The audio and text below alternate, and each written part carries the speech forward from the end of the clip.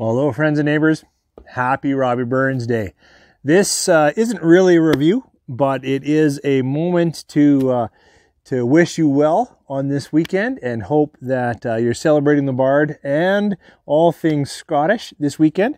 So I will talk to you about uh, a Scotch just to frame our conversation, but know that this is really a neck pour and not a review. I hope to come back to the bottle later.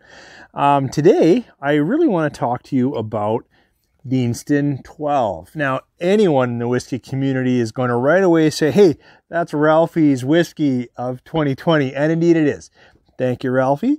Um, I have not had Deanston 12. I have to say, I really have only had for Deanston that non-age statement virgin oak, which I love and find a fantastic value. I just think there's so much flavor going on in that non-age stamp Deanston uh, that I was happy to grab the 12 when Ralphie uh, recommended it. And as I said, is a neck pour. This is not a review. But uh, one of the great things, and uh, and I will say, oh, did I even say who I am? John, your whiskey neighbor here. Thanks for joining me. Um, that uh, I was just at a local liquor store and a young fellow there, nice fellow, uh, and a lady, both of them very helpful, but right away, um, are speaking without specific knowledge. And uh, I would just like to be part of the voice that is trying to share a, a passion for whiskey, Scotch, bourbon, Canadian, Japanese, Irish. Um, and also part of that voice is education. And I'm not very well equipped to talk about Deanston right now.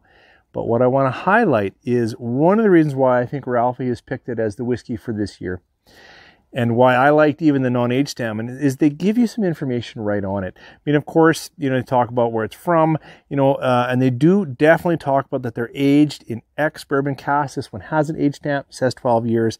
Now, it also says unchill filtered. I had a bit of a discussion because he was talking about some other scotch that they're going to be sampling tonight in in uh, celebration of Robbie Burns' uh, day or weekend. Um, and and uh, we had a bit of a disagreement over whether scotch is colored. And uh, I I basically tried to impress upon the the team there in the store that you know if it doesn't celebrate that it's unchill filtered or uncolored and I really uh, from Ralphie I understand this is uncolored uh, but I thought that um, it would say it on here. And I'd really just tried to stress that, you know, if it really doesn't tell us that information on here, then it has to be suspect and you have to dig around. And, and I'll just say to the young guy, the whiskey, the scotch that we were talking about, definitely dug around. It wasn't too long or too hard to find out that even though it was aged in a cognac cask, an ex cognac, which would give it lots of that deep dark color, indeed the distillery chose to color that scotch. I believe this is uncolored. I know it's natural chill filtered. It's released at 46.3%. Uh, one of the reasons why I think a lot of us enjoy Deanston, now I haven't had a lot of it, is that it's that very natural, give good information.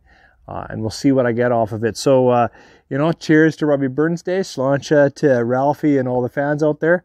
I mean, sorry, I hope Ralphie you see the show, but I just meant to the fans of the channel, the people that tune in, thank you. And I was specifically giving a cheers to Ralphie in recommending uh, this uh, scotch.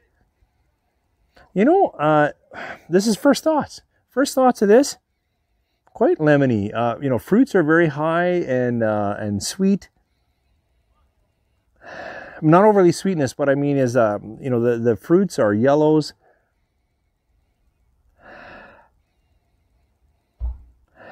Yeah, nice nose. Now I'm outside, um, so ah, but almost a clean nose, like a good, good clean Scotch with that little bit of caramel or toffee on the, but just on the edge. I'm getting a lot more of that lemon.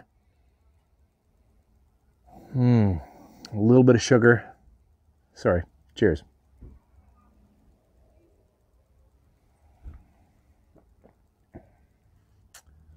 Mm. Nice. I took that sip a little too quick, um, but it definitely now has more caramels. The uh, citrus note in the nose to me actually fades in the palate. Fruits are muted and gentle, um, more like a Speyside fruit. So that's kind of light orchard. but from nose through the taste. Mm. And then encouraging the finish. The finish actually has got some good oak in it. Um, I, I definitely enjoy this. Is it blowing me away? It's giving me reason to think.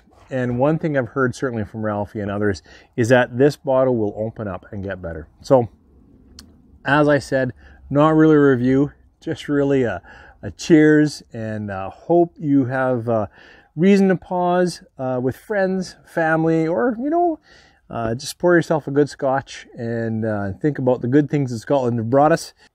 Yeah. Thanks for joining me. You guys take care.